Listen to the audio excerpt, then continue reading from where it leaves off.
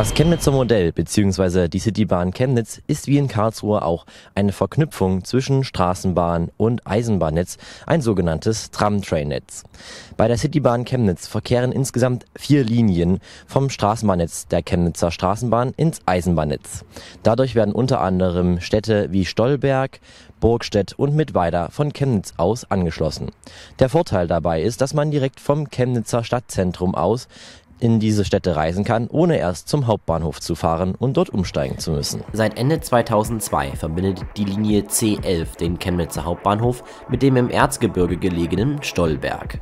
Die Linie C13 verbindet seit Januar 2022 Aue mit Burgstedt. Sie ist aktuell die längste Linie des Netzes. Die Linie C14 verkehrt von der Hochschulstadt Mittweida über Chemnitz genauso wie die C13 bis nach Thalheim. Und zu guter Letzt gibt es noch die Linie C15, welche von Hainichen aus nach Technopark verkehrt. Am Wochenende und in den Tagesrandlagen verkehrt die C15 nur bis zur Zentralhaltestelle und die C14 nur bis zum Technopark.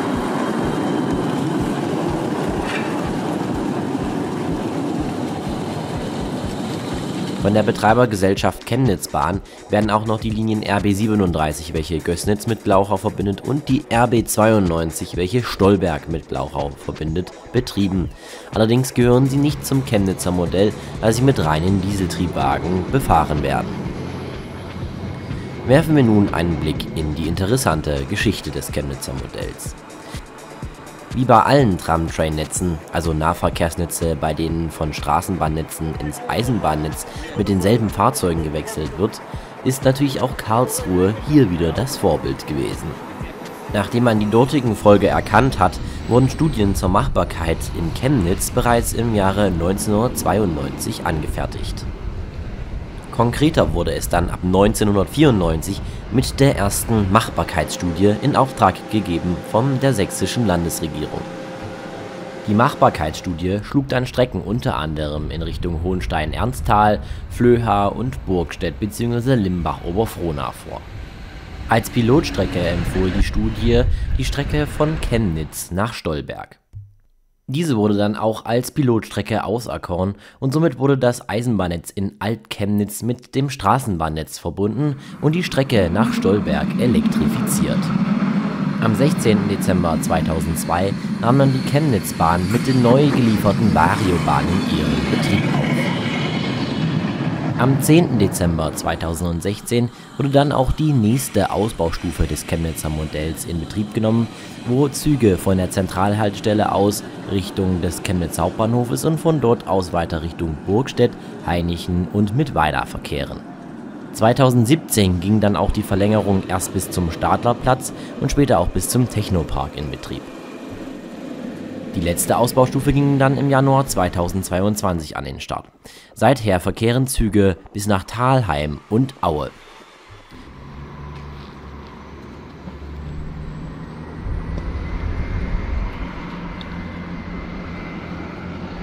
Und das Chemnitzer Modell soll auch weiter ausgebaut werden. Am konkretesten ist aktuell der Ausbau von Stolberg über Oelsnitz nach St. Egidien.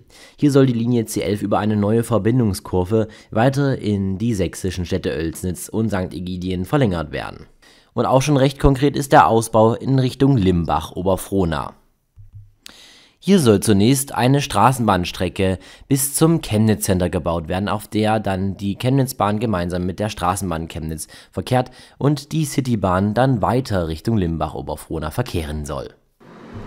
Zwischen dem Chemnitzer Hauptbahnhof und der Zentralhaltestelle befahren alle vier Linien des Chemnitzer Modells einen gemeinsamen Abschnitt, wo unterwegs noch am Theaterplatz und am Roten Turm gehalten wird Somit gibt es also nicht die eine zentrale Umsteigehaltestelle für die Linien des Chemnitzer Modells an sich. Allerdings ist der Hauptbahnhof der Stadt natürlich der wichtigste Knotenpunkt für den Regionalverkehr.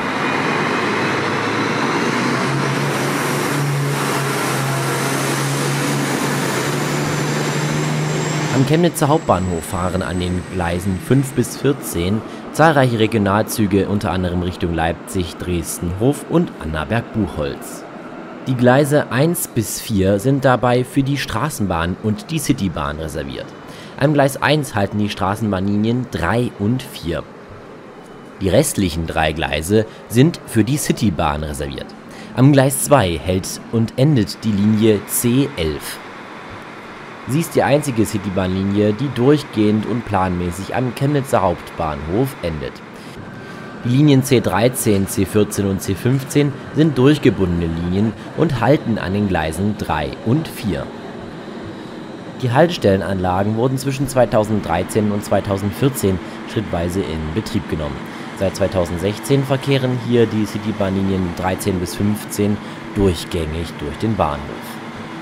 Die Bahnhofshalle überspannt dabei die Haltestellenanlagen der Citybahn, der Straßenbahn und auch der herkömmlichen Regionalzüge.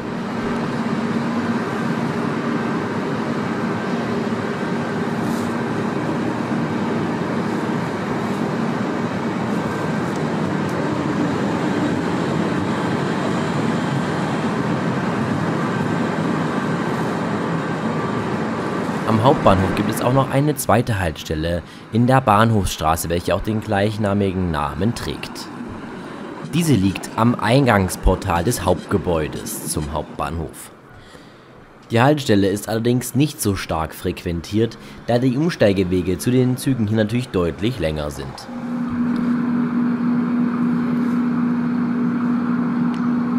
Ein weiter wichtiger Umsteigeknotenpunkt ist natürlich die Zentralhaltestelle in Chemnitz.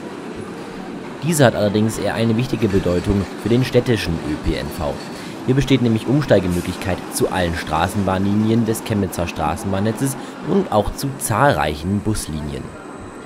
Dafür gibt es hier auch mehrere Haltestellenbereiche mit zahlreichen Bahnsteigen. Die Linien der Chemnitzbahn halten allesamt an einem Bahnsteig in der Rathausstraße, welcher auf der gesamten Länge überdacht ist. Hier halten sie gemeinsam mit den Straßenbahnlinien 3 und 4. An den Haltestellen, wo Niederflurzüge und etwas hochflurigere Chemnitzbahnzüge gemeinsam halten, gibt es dann immer Doppelhaltestellen. Für die Chemnitzbahnzüge gibt es hier dann höhere Bahnsteige, um auch einen barrierefreien Einstieg in jene zu gewährleisten. Dies ist somit auch hier an der Zentralhaltestelle, allerdings nicht nur hier der Fall. Werfen wir nun einen kleinen Blick außerhalb des Chemnitzer Stadtzentrums. Wie bereits angesprochen ist die neueste Strecke des Chemnitzer Modells seit Anfang 2022 in Betrieb. Sie führt vom Chemnitzer Technopark, wo die Strecke seit 2017 endet, bis nach Aue über Thalheim und Zwönitz. Auf der Strecke wurden vier neue Haltepunkte errichtet und außerdem einige Ausweichen zusätzlich. Seit der Eröffnung des Streckenabschnitts herrscht außerdem zwischen Chemnitz und Thalheim ein Halbstundentakt. Zwischen dem Technopark und Chemnitz-Reichenheim wurde die Strecke sogar komplett neu gebaut und in diesem Bereich auch vollständig zweigleisig. Ausführlicher habe ich darüber bereits zur Eröffnung im Januar berichtet aber nicht nur auf dieser Strecke wurde für die Chemnitzbahn ein neuer Haltepunkt errichtet, sondern auch auf der C13 im Norden Richtung Burgstedt. Hier wurde der Haltepunkt Chemnitz-Küchwald errichten, um den gleichnamigen Küchwald mit an das Nahverkehrsnetz anzuschließen. Hier wurde ein eingleisiger Haltepunkt errichtet an der hier noch zweigleisigen Strecke von Chemnitz nach Leipzig der Chemnitzer Küchwald ist ein Naherholungsgebiet, in dem sich unter anderem die Küchwaldbühne und die Parkeisenbahn von Chemnitz befindet. Da der Bahnsteig in Chemnitz-Küchwald hier nur auf der einen Seite der Strecke zu finden ist, müssen die Bahnen in Richtung Norden hier für kurze Zeit auf der falschen Seite im Gleis verkehren. Werfen wir nun zum Schluss noch einen Blick auf die C11. Sie ist als einzige Linie komplett elektrisch unterwegs, auch außerhalb des Chemnitzer Straßenbahnnetzes.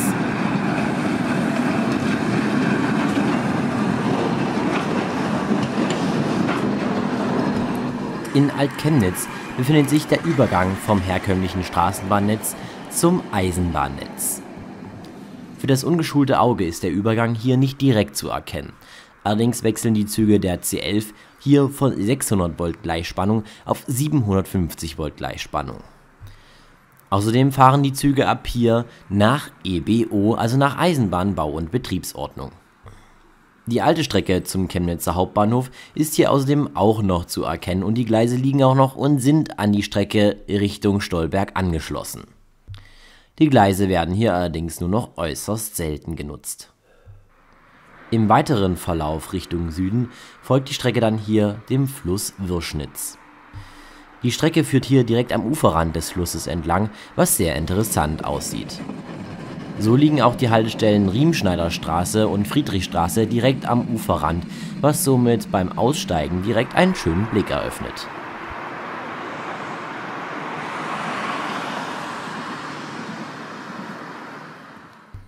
Die C11 ist auf dem Streckenabschnitt bis nach Stolberg im Halbstundentakt unterwegs. Hinter Alt-Chemnitz ist die Strecke größtenteils eingleisig. Die Züge begegnen sich dabei allerdings an der Ausweiche Pfaffenhain. In Neukirchen-Klaffenbach gibt es noch eine weitere Ausweiche, wo allerdings die Züge sich nicht planmäßig begegnen. Bei der Chemnitzbahn werden aktuell zwei verschiedene Fahrzeugtypen eingesetzt. Beide sind Zweisystemfahrzeuge. Die älteren die Variobahnen sind Zweisystemfahrzeuge sowohl für Straßenbahnstrom als auch für Eisenbahnstrom ausgelegt und die neueren aus dem Hause Vossloh sind für Diesel und Elektrobetrieb ausgelegt. Insgesamt sechs Variobahnen wurden an die Citybahn ausgeliefert. Sie sind allesamt Zweirichter und 32,2 Meter lang. Sie sind für eine Höchstgeschwindigkeit von 80 km/h ausgelegt, welche auch außerhalb des Chemnitzer Straßenbahnnetzes erreicht werden.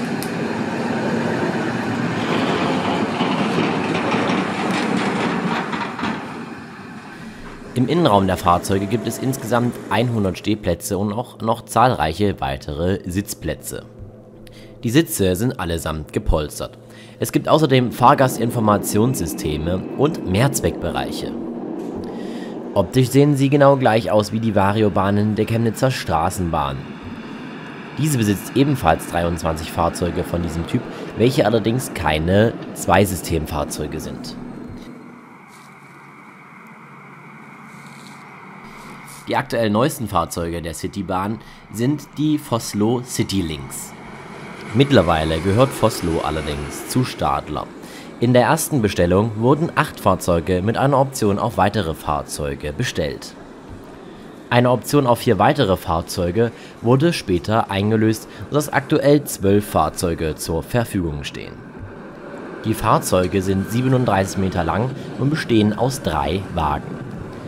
In den beiden Endwagen gibt es jeweils zwei Doppeltüren, allerdings im mittleren Wagen gibt es dafür gar keine Tür die Besonderheit an den Türen ist, dass sie zwei unterschiedliche Einstiegshöhen besitzen.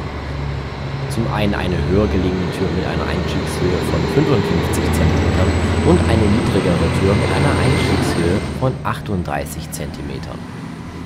Im Innenraum kann man barrierefrei zwischen den beiden Türen hin und her wechseln, um barrierefrei sowohl an Eisenbahnbahnsteigen als auch an Straßenbahnbahnsteigen einzusteigen. Die Fahrzeuge besitzen im Innenraum sogar eine Toilette Neben dieser gibt es auch noch 87 Sitzplätze, größtenteils an Vierersitzgruppen und Mehrzweckbereiche. Die Fahrzeuge können im Übrigen eine Höchstgeschwindigkeit von 100 km/h erreichen. Im März 2022 wurde im Übrigen die zweite Citylink-Generation bestellt mit insgesamt 19 Fahrzeugen, die festbestellt wurden. Diesmal allerdings natürlich direkt bei Stadler, seit Vossloh zu Stadler gehört die Fahrzeuge sollen allerdings Zweisystemfahrzeuge wieder vollkommen elektrisch sein, also zwischen Straßenbahnstrom und Eisenbahnstrom.